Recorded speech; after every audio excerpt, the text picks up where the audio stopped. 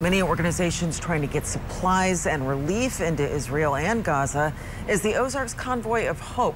Chris Bryant is live there with more on the organization's efforts to provide some relief in that region. Chris? Yeah, good morning, Lee. Providing supplies to the war zone in Israel and Gaza marks the 700th deployment for Convoy of Hope since they founded back in the 90s. So far this year, Convoy of Hope has deployed to 73 disaster or relief efforts across the world. Three containers full of essential relief supplies arrived in Israel last week, and among those, Convoy of Hope provided food to over 500 displaced families inside Israel.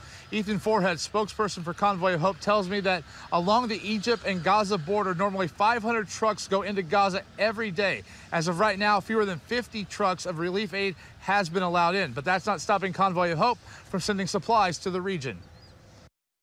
Today we're staging down in Texas where air freight will be taking off to be going over to the Middle East with uh, relief supplies of all different sorts. Uh, we also have uh, in at the border of Gaza and Israel, which is closed right now, we have our trucks lined up there with generators and food and relief supplies trying to get into Gaza. Now, Convoy of Hope works with organizations and people in foreign countries to help make sure that aid gets across those borders and to the people that need them.